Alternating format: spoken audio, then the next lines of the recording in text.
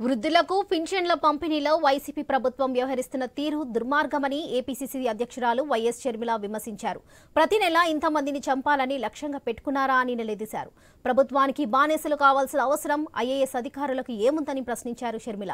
వైసీపీకి మేలు చేయాలని నెల నెలా ఇంతమందిని పొట్టన పెట్టుకుంటారా అని షర్మిల మండిపడ్డారు.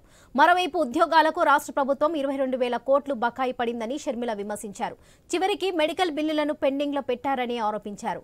పన్నెండవ పీఆర్సీ అమలు చేయాల్సిన ప్రభుత్వం పదకొండవ పీఆర్సీలోనే కోతలు పెట్టిందని దుయ్యబట్టారు షర్మిల.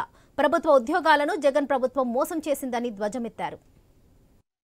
ఒక ప్రభుత్వానికి బానిసలు కావాల్సిన అవసరము ఐఏఎస్లకు ఏముంది అని అడుగుతున్నాం. మీకు వాళ్ళు కాదు కండి జీతం ఇచ్చేది మరొకసారి గుర్తు చేస్తున్నాం. జీతం ఇస్తున్నది ప్రజలు ప్రజల డబ్బులు. ఇంత లాయలిటీ వైసీపీకి మేలు చేయాలి అన్న ఇంత లాయలిటీ పనికిరాదు. కేవలం ఈ రోజు వైసీపీ పార్టీకి మేలు చేయడానికి నెల నెల ఇంతమందిని పొట్టన పెట్టుకుంటున్నారు మీరు. ఒకటే పాయింట్ ప్రూవ్ చేస్తున్నారు. వైసీపీ ప్రభుత్వం అధికారంలోకి రాకపో- రాకపోతే ప్రతి నెల ఇదే జరుగుతుంది అన్న పాయింట్ డ్రైవ్ చేయడానికి ఇంత ఘోరంగా ప్రాణాలను పనంగా పెట్టి చనిపోయినా పర్వాలేదు అన్నట్టుగా మీరు వ్యవహరించి